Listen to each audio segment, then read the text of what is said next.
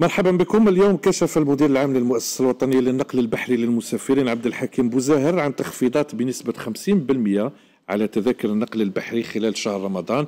هذا الكلام أو هذا التصريح جاء بمناسبة الاستماع إليه من طرف لجنة الشؤون الخارجية آه، في البرلمان. فماذا عن هذا القرار؟ آه، وما هي أيضا آه، كيفية استقباله من طرف أفراد الجالية؟ معنا الأستاذ سمير شعبنا اللي هو برلماني سابق وأيضا مهتم بشؤون الجالية عبر الهاتف. أستاذ شعبنا مساء الخير مرحبا بك. مرحبا بك أستاذ قاده وتحية لك ولكل مستمعينا داخل وخارج الوطن. طيب المدير آه، مؤسسة النقل البحري يقول تخفيضات في التذاكر بداية شهر رمضان لمدة 40 يوم تصل إلى 50% برغم أنه طابعها مناسباتي لكن هذا قد يكون مطلبا بالنسبة لكثير من أفراد الجالية، أليس كذلك أستاذ شعبنا؟ نعم حقيقة للتذكير فقط سيدي المحترم أن هذا قرار السيد الرئيس الذي أقره في مجلس الوزراء وأعطى تعليمات صارمة للسيد وزير النقل على ضرورة تخفيض تذاكر النقل البحري والجوي كذلك حتى للخطوط الجوية الجزائرية هي معنية بهذا الموضوع. وقال السيد الرئيس يعني بالحرف الواحد نتمنى من أبناء جاليتنا من الذين يريدون قضاء شهر رمضان الكريم في الوطن الأم الجزائر فهذه فرصة لهم للعودة إلى أرض الوطن بطبيعة الحال. ودعني أقول أنه في استحسان بكل صراحة يعني وسط أبناء الجالية الجزائرية خارج الوطن لكن حتى أكون صريح معك سيدي المحترم أن الكثير من أبناء جاليتنا يتمنون وينتظرون يعني مثل هذه القرارات الحكيمة لا سيما في فصل الصيف لأنه كل المغتربين أو نسبة كبيرة من هؤلاء يريدون العودة إلى أرض الوطن والاستفادة من أكثر من شهرين كاملين في الوطن الأمي الجزائر خلال فصل الصيف، لكن مهما قيل أو يقال يجب كذلك أن نثمن هذا القرار وشاكرين بطبيعة الحال لسلطات البلد على التفكير في مثل هذه القرارات الحكيمة التي ستساعد بدون شك آه، نسبة أو فئة من أبناء جاليتنا لا سيما مهاجرين الأوائل من الشيوخ ومن الطلبة ومن كذلك العزاب الذين عادة يفكرون في هذا الشهر الكريم ونكهة هذا رمضان في الوطن الأم الجزائر. طيب ليست هنالك فقط مشكلة التذاكر وغلائها أستاذ شعبنا كاين بزاف مشاكل طرحت على الإدارة العامة للمؤسسة والمدير يتحدث عن دخول سفينة نقل مسافرين جديدة بسعه 1600 مسافر حيز الخدمة في جويليا يعني مع شهر الصيف مع الإقبال الكبير إضافة إلى الأربع سفن الموجودة وهنالك حديث عن نوعية الخدمات وعن الحجوزات الإلكترونية. يعني بعيدا عن التذاكر هل تعتقد بأن هذه المشاكل ممكن حلها في المدى القريب؟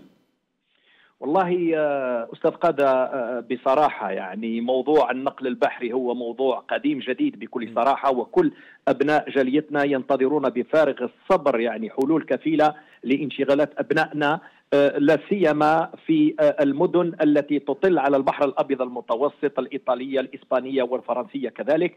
هذه السفينة هذه يعني الباخرة الجديدة الإيطالية التي دخلت يعني حيز التنفيذ بداية من شهر فبراير ووصلت حتى لميناء الجزائر. آه، حقيقة آه، راح تكون يعني إضافة للنقل الجو آه، للنقل البحري عفوا زيادة على أربع بواخر يعني التصيل اثنين الجزائر اثنين طارق بن زياد. ضيف إلى ذلك الباخرة الجديدة يعني برج باجي المختار اثنين. فبالتالي هذا العدد بكل صراحة إذا أخذنا بعين الاعتبار كذلك الكم الهائل من أبناء جاليتنا ليستعدون ويتأهبون للعودة إلى أرض الوطن. هو قليل جدا لا سيما كذلك إذا أخذنا بعين الاعتبار أستاذ قادة آه، المشاكل يعني مشاكل السنة الماضية وقلة البواخر وقلة كذلك حتى الرحلات على العديد من المدن. على سبيل المثال جينوفا السيد المدير آه، استمعنا يعني إلى التدخل وإلى كذلك يعني يعني استفسارات حتى بعض المتتبعين على راح تكون رحلات على جينوفا الإيطالية راح تكون على السات الفرنسيه على مارسيليا خط قديم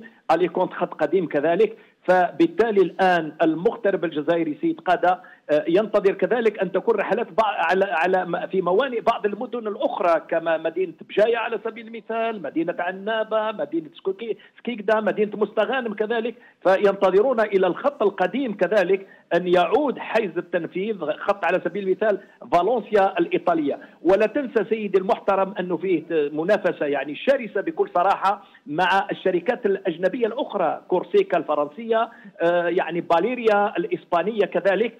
وبالتالي هذه من بين الانشغالات ضف إلى ذلك أخي قادة كل أبناء الجالية الجزائرية يتساءلون اليوم متى سيتم فتح بيع؟ يعني التذاكر العطلة الصيفية. أنت على علم سيدي المحترم أن الكثير من المغتربين لهم أجندات لهم كذلك يعني آه، عطل فينتظرون يعني هذه الشبكة شبكة المبيعات أو حتى برنامج مبيعات الفصل الصيفي لحد الآن. فيه كذلك سيدي قادة أن الكثير من هؤلاء آه، يعني يلومون وكذلك ساخطون وكذلك يعيبون كذلك على الشركة لا سيما قضية يعني الحجوزات عبر الإنترنت أو يعني من خلال البطاقات النقدية أو البنكية.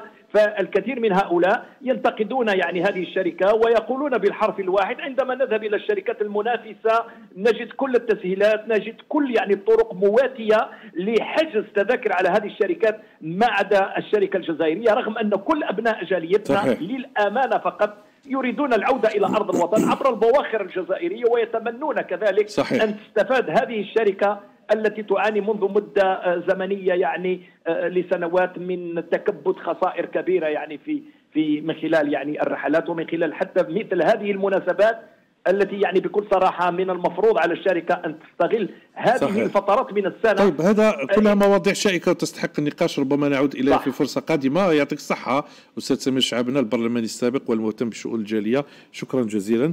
مشاهدينا نذهب إلى فاصل قصير ونعود إلى كلام مباشر.